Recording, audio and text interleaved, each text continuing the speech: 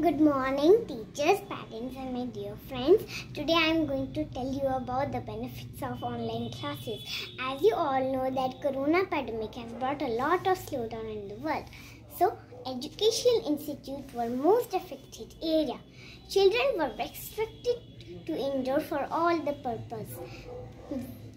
Classes and virtual learning over internet has become the biggest survivor to student. Here are some benefits of online classes. First, stud- students can study comfortably in privacy. Second, students don't need to go outside for coaching and school. Third, it saves time and energy of student. Fourth, Children can download their lesson and follow them later. Online classes are safe and secure.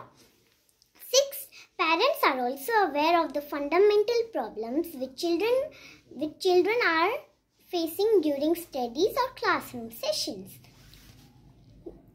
As we all know, due to this pandemic, learning and teaching both have become very difficult tasks, not only for teachers but also for students. I am very thankful to my school, Gopalan National School, my all teachers, the entire management team. Because of their efforts, we are easily able to manage our studies and all activities without missing any classes. We are enjoying a lot.